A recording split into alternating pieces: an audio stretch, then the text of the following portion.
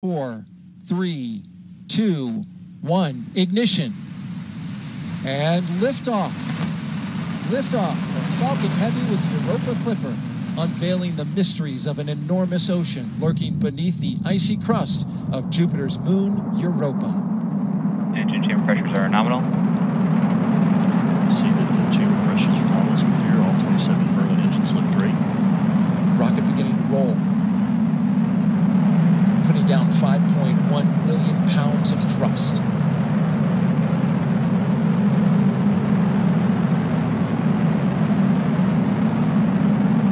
Coming up, they're going to back off those engines just a bit.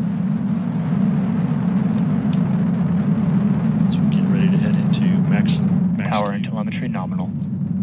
We hear that power and telemetry on the vehicle are good there. Everything's looking uh, really Falcon well. Heavy is supersonic. They have uh, power in the center core uh, to get through maximum max Q, maximum dynamic pressure on the launch vehicle as we approach that. The two side boosters at full throttle. A beautiful shot there is our camera team Max Q. locking into the rocket on a clear blue sky.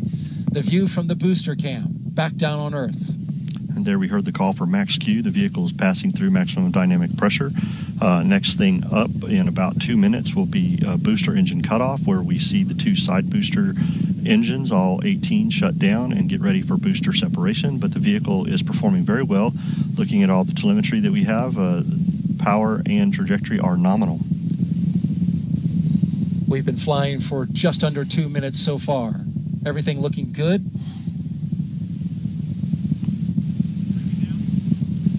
B-side boosters, once they do their job, they will be expended.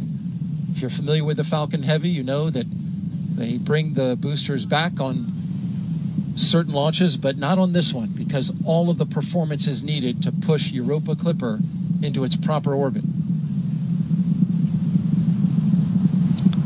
Things continue to look good as the vehicle uh, heads down its uh, ascent phase here. All telemetry is looking very nominal for this flight this morning. Uh, Falcon Heavy is performing very well.